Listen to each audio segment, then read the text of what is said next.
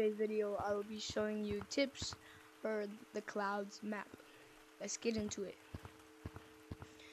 For Summon City, we have to go to this place where the sign says tree. You don't go to tree, you have to turn left to, to clouds. Okay. Also, these clouds give you a speed boost. So you can run on these but I wouldn't recommend it because people, other people have speed boost too. But this tip will help you run away from people really well. Like you go, you go to this place, keep running like this. You don't get, and then you jump on this leaf right here and then jump onto this one.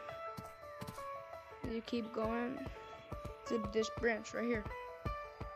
From this branch, you go to this one right here.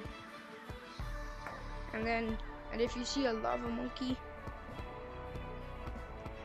right here, you can run like this and grab onto this leaf and go back to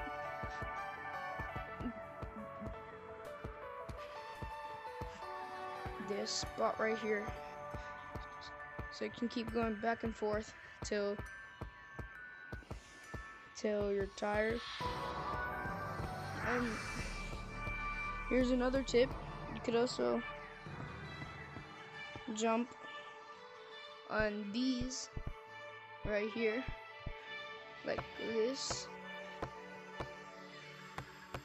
until you just keep climbing up. Like so like this gotta keep jumping. That this jump was really hard.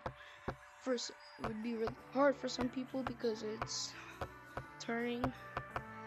You gotta jump to this cloud. Also be careful because this cloud gives you a speed boost then when you're on this cloud, you can jump to this platform, which also leads to that air burst right there, like this.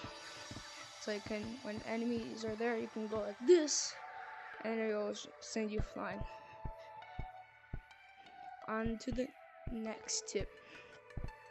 You can jump on these clouds to you to run away from lava monkeys chasing you like this.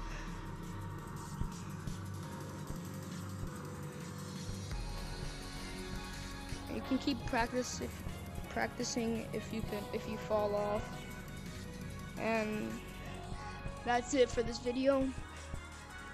Mm, the next video I will be showing you tips for canyons make sure you like and subscribe with notifications on. And I'll see you in the next video.